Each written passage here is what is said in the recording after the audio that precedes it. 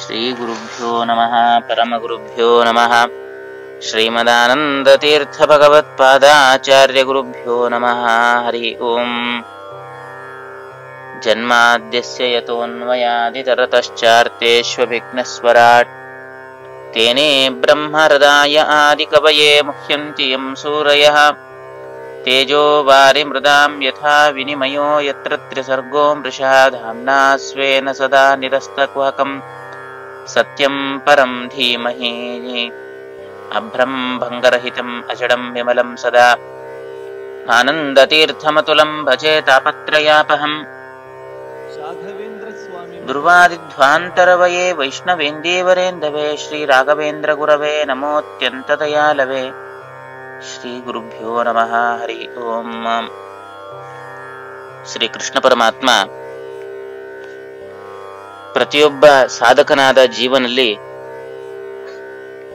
ಭಗವಂತ ತಾನು ಪ್ರತಿಯೊಂದು ಶರೀರದಲ್ಲಿಯೂ ಕೂಡ ವ್ಯಾಪಿಸಿ ಅವನ ಪ್ರತಿಯೊಂದು ಕಾರ್ಯಗಳನ್ನು ಕೂಡ ಇಂದ್ರಿಯಗಳ ಮೂಲಕ ಮಾಡಿ ತದನಂತರದಲ್ಲಿ ಈ ದೇಹವನ್ನ ಪರಿತ್ಯಾಗ ಮಾಡಿ, ಪ್ರತಿಯೊಂದು ದೇಹವನ್ನ ಪರಿತ್ಯಾಗ ಮಾಡುವಾಗಲೂ ಕೂಡ ವಾಯುದೇವರಿಂದ ಸೂಕ್ಷ್ಮಭೂತವಾದ ಇಂದ್ರಿಯಗಳನ್ನು ಕೂಡ ತೆಗೆದುಕೊಂಡು ಹೋಗಿ ಆ ಜೀವನಿಗೆ ವಿಷಯ ಪದಾರ್ಥಗಳ ಭೋಗವನ್ನ ಉಂಟು ಮಾಡುವಂತೆ ಮಾಡ್ತಾನೆ ಅನ್ನೋ ವಿಚಾರವನ್ನ ಹಿಂದಿನ ಶ್ಲೋಕದಲ್ಲಿ ತಿಳಿಸಿಕೊಟ್ಟಿದ್ದಾರೆ. ಆದರೂ ಈ ಜೀವನಾಗಿರತಕ್ಕಂಥವನು ಆ ವಿಷಯ ಪದಾರ್ಥಗಳನ್ನ, ಆ ವಿಷಯ ಪದಾರ್ಥಗಳಲ್ಲಿ ಅತ್ಯಂತ ಆಸಕ್ತನಾಗಿ ಗೃಹೀತ್ವ ಏತಾನಿ ಸಂಯಾತಿ ವಾಯುರ್ಗಂಧ ನಿವಾಶಯಾತ್. ಬಹಳ ವಿಷಯ ವಿಷಯ ಪದಾರ್ಥಗಳನ್ನೇನೆ ಉಪಭೋಗ, ಉಪಭೋಗಿಸುವುದರಲ್ಲೇನೆ ಆಸಕ್ತನಾಗಿರ್ತಾನೆ. ಹಾಗಾದ್ರೆ ಇವುಗಳಲ್ಲಿ ಭಗವಂತ ಉಪಭೋಗಿಸುವ ಯಾವುದ್ಯಾವುದ ಇಂದ್ರಿಯಗಳಿಂದ ಏನೇನು ಉಪಭೋಗಿಸ್ತಾನೆ?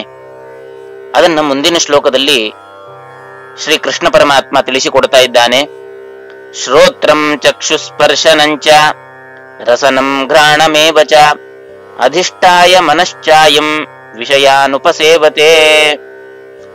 ಪರಮಾತ್ಮ ಪ್ರತಿಯೊಬ್ಬ ಜೀವರ ಶರೀರದಲ್ಲಿ ನಾವು ಏನು ಜ್ಞಾನೇಂದ್ರಿಯಗಳಿಂದ ನಾವು ವಿಷಯ ಪದಾರ್ಥಗಳ ಭೋಗವನ್ನು ಪಡ್ತೇವೆ, ಆ ಭೋಗದ ಅಭಿರುಚಿ ನಮಗೆ ಆಗಬೇಕಂದ್ರೂ ಕೂಡ ಅದು ಭಗವಂತನೇ ಕಾರಣ ಅಂತ ಹೇಳ್ತಾ ಇದ್ದಾರೆ.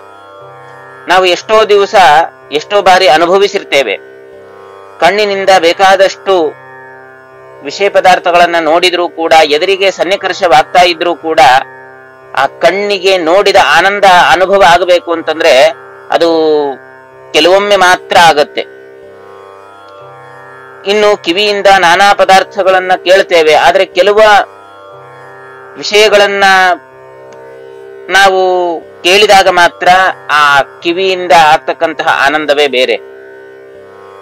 ಇದಕ್ಕೆ ಕಾರಣ ಭೋಗಿಸುವುದು ಅದೇ ಇಂದ್ರಿಯದಿಂದ ಆದರೂ ಕೂಡ ಆ ಭೋಗಿಸುವಾಗ ಆ ವಿಷಯ ಪದಾರ್ಥಗಳಲ್ಲಿರುವಂತಹ ಸಾರವನ್ನ ಭೋಗಿಸುವಂತಹ ಪರಮಾತ್ಮನು ಭೋಗಿಸಿದಾಗ ಮಾತ್ರ ನಮ್ಮ ಇಂದ್ರಿಯಗಳಿಂದ ಆ ವಿಷಯ ಪದಾರ್ಥಗಳ ಭೋಗದ ತೃಪ್ತಿ ಅನ್ನೋದು ನಮಗೆ ಉಂಟಾಗುತ್ತೆ.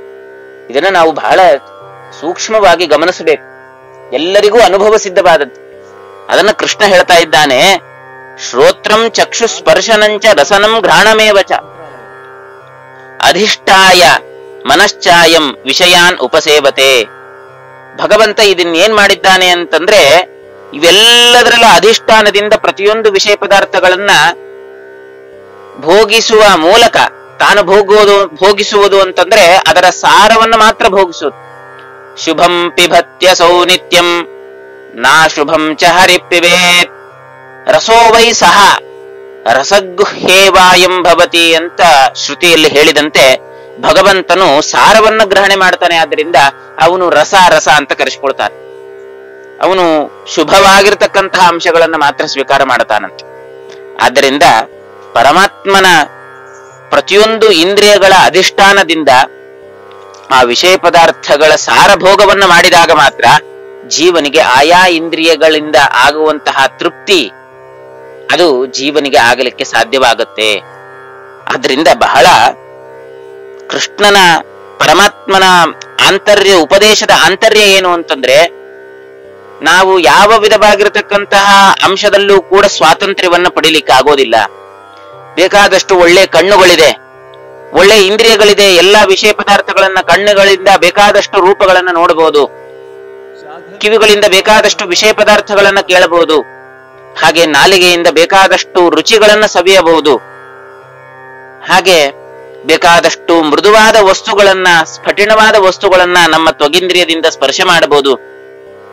ಘ್ರಾಣೇಂದ್ರಿಯದಿಂದ ಪರಿಮಳ ಭರಿತವಾದ ವಸ್ತುವನ್ನ ಅಗ್ರಹಣ ಮಾಡಬಹುದು ಅಂತ ನಾವು ಅನ್ಕೊಂಡಿದ್ದೇವೆ. ಆದರೆ ಎಲ್ಲರಿಗೂ ಕೂಡ ಎಲ್ಲಾ ವಿಧವಾದ ಇಂದ್ರಿಯಗಳು ಬೇಕಾದಷ್ಟು ಇದ್ರೂ ಕೂಡ ತೃಪ್ತಿ ಅನ್ನೋದು ಕೆಲವೊಮ್ಮೆ ಆಗೋದಿಲ್ಲ. ಬೇಕಾದಷ್ಟು ನೋಡ್ತಾನೆ, ತೃಪ್ತಿ ಆಗೋದಿಲ್ಲ. ವಿಷಯ ಪದಾರ್ಥಗಳನ್ನು ಸುಂದರವಾದ ವಸ್ತುಗಳನ್ನು ನೋಡ್ತಾನೆ, ತೃಪ್ತಿ ಆಗೋದಿಲ್ಲ. ಬೇಕಾದಷ್ಟು ಸವಿಯಾಗಿರ್ತಕ್ಕಂತಹ ಅದ್ಭುತವಾದ ಪಂಚಪಕ್ಷ ಪರಮಾಣುಗಳನ್ನ ತಿಂದ್ರೂ ಕೂಡ ತೃಪ್ತಿ ಆಗೋದಿಲ್ಲ. ಅದೇ ನಾಲಿಗೆ ಇಂದ್ರ, ಇಂದ್ರಿಯದಿಂದ, ರಸನೇಂದ್ರಿಯದಿಂದ ವಿಷಯ ಪದಾರ್ಥಗಳನ್ನ ಭೋಗಿಸಿದ್ರೂ ತೃಪ್ತಿ ಆಗೋದಿಲ್ಲ. ಹಾಗೆ ಘ್ರಾಣದಿಂದ ಪರಿಮಳ ಭರಿತವಾಗಿರತಕ್ಕಂತಹ ವಾಸನೆಯನ್ನು ನೋಡ್ತಾನೆ, ಅದು ತೃಪ್ತಿ ಆಗೋದಿಲ್ಲ. ಹೀಗೆಲ್ಲ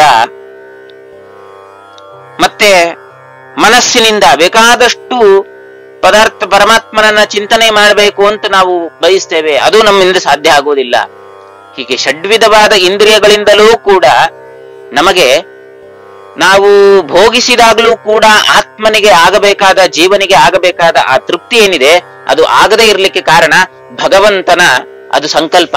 ಆ ಭಗವಂತನು ಯಾವಾಗ ಅದು ಸಾರವನ್ನ, ರಸವನ್ನ ಭೋಗ ಮಾಡ್ತಾನೋ, ಆವಾಗ ಮಾತ್ರ ನಮಗೆ ಜೀವನ ತೃಪ್ತಿ. ಹಾಗಾದ್ರೆ ಇಂದ್ರಿಯಗಳನ್ನ ಪ್ರೇರಣೆ ಮಾಡೋದ್ರಲ್ಲೂ ಕೂಡ ನಮಗೆ ಸ್ವಾತಂತ್ರ್ಯ ಅನ್ನೋದಿಲ್ಲ. ಆ ಇಂದ್ರಿಯಗಳನ್ನ ಪ್ರೇರಣೆ ಮಾಡಿ ಹಾಗೂ ವಿಷಯ ಪದಾರ್ಥಗಳನ್ನ ಭೋಗಿಸಿದಾಗ ಅವುಗಳಿಂದ ತೃಪ್ತಿಪಡಿಸುವ ಸ್ವಾತ್ ಸು- ಸು- ತೃಪ್ತಿ ಪಟ್ಟುಕೊಳ್ಳುವ ಸ್ವಾತಂತ್ರ್ಯವೂ ಕೂಡ ನಮಗಿಲ್ಲ. ಆದ್ದರಿಂದ ಜೀವನು ಎಲ್ಲ ಕಾಲದಲ್ಲೂ ಕೂಡ, ಎಲ್ಲಾ ಸಮಯದಲ್ಲೂ ಕೂಡ ಭಗವಂತನ ಅಧೀನ. ಆದ್ರಿಂದ ಇಂತಹ ಭಗವಂತ ಆ ಶಬ್ದಾದಿ ವಿಷಯ ಪದಾರ್ಥಗಳನ್ನ ತಾನು ಇಂದ್ರಿಯಗಳಲ್ಲಿ ಪ್ರೇರಕನಾಗಿ ಆ ಇಂದ್ರಿಯಗಳಿಂದ ವಿಷಯ ಪದಾರ್ಥಗಳನ್ನು ಭೋಗಿಸುವುದು ಮಾತ್ರ ಅಲ್ಲೇ, ಮಾತ್ರವಲ್ಲದೇನೆ ಆ ಭೋಗಿಸಿದ ಆಗುವಂತಹ ತೃಪ್ತಿ ಅದು ಜೀವನಿಗೆ ಬರಬೇಕಾದ್ರೆ ಅದಕ್ಕೆ ಮುಖ್ಯ ಕಾರಣೀಕರ್ತನಾಗಿರ್ತಕ್ಕಂಥವನು ಪರಮಾತ್ಮ. ಆ ಪರಮಾತ್ಮನು ಸಾರವನ್ನ ಸ್ವೀಕಾರ ಮಾಡಿದಾಗ ಮಾತ್ರ ನಮಗೆ ಜೀವನಿಗೆ ತೃಪ್ತಿ ಅನ್ನೋದು ಉಂಟಾಗುತ್ತೆ ಅನ್ನೋ ಅದ್ಭುತವಾದ ಚಿಂತನೆಯನ್ನ ಭಗವಂತ ಈ ಶ್ಲೋಕಗಳಲ್ಲಿ ನೀಡದಿರ್ತಕ್ಕಂಥವನಾಗಿದ್ದಾನೆ ಶ್ರೀಕೃಷ್ಣಾರ್ಪಣ ಮಸ್ತು.